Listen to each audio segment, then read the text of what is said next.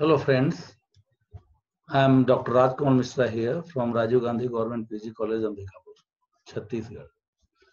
I would like to share a lecture on expansion of an idea.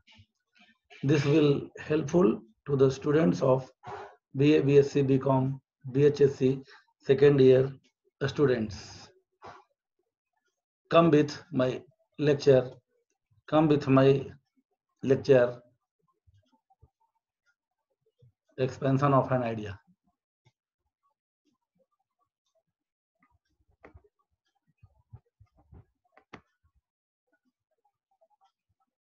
Before, before beginning, I would like to put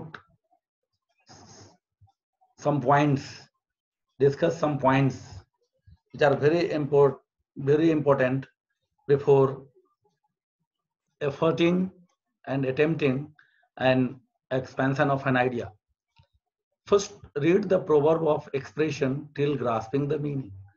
So first of all, students must read the proverb or the idea that is given for an extension three or four times so that its meaning can be grasped clear, clearly. Meaning can be understood clearly. When the meaning is understood clearly, the students should begin writing. In uh, he must use simple language. He must add some details, illustrations, and proofs. He must attempt a draft writing or rough writing. After finishing draft writing of rough writing, he must see all essential points, whether it has been included or not and ensure that all the essential points must be included. He should be limited to only one or two paragraphs. Expansion should not be more than the two paragraphs.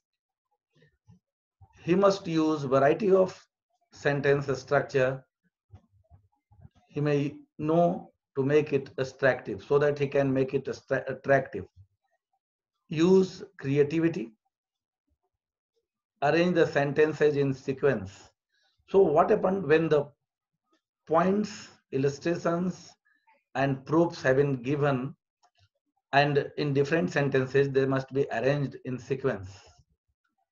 After that, the student should read it carefully. And if he finds any mistakes regarding spelling, grammar, or punctu punctuation, he must remove it out.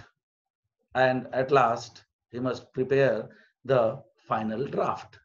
Here i would like to discuss and give an example of two ideas two proverbs how they can be expanded.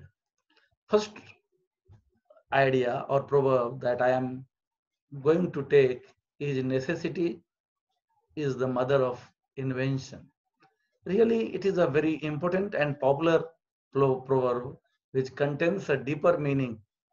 It means that it means that the essence, uh, the necessity forced us to find a way out of it.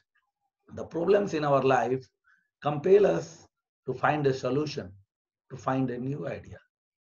All the small and greater scientific inventions are good examples Whenever a man faces difficulties in his life, he comes with solutions. Man has invented fire, the will, in pre-stone age and invented many more things to make his life comfortable. The fastest means of transport, the means of communication, farming and cultivation, and a large number of home appliances are available now. Many deadly diseases like smallpox, cholera, polio, TB, that is tuberculosis, plague, and leprosy are now curable. The invention of the computer, internet, and cell phones made our life more comfortable. The whole world has been transformed into a global village.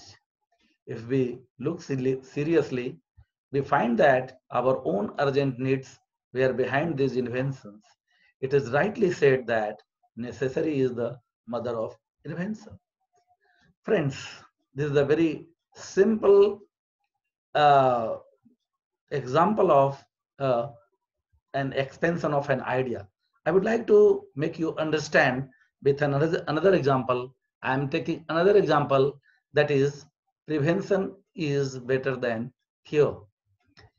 It is easier to stop something happening in the beginning that when it happened, we repair the damage after it has happened or to solve the problem after it has arisen. It is wise to solve the problem in the beginning because we can stop the damage or minimize it. We should not allow an enemy to enter the house than to let him enter and fight hard to drive him out. Similarly, it is better to prevent a disease to affect our health than to fail ill and take the medicines, medical support to cure it. Bad habits and evil thoughts are also our great enemies. If bad habits like smoking, drinking liquor, taking drugs are formed, it is very hard to uh, drive them out. Therefore, we must always remember that prevention is better than cure. Thank you.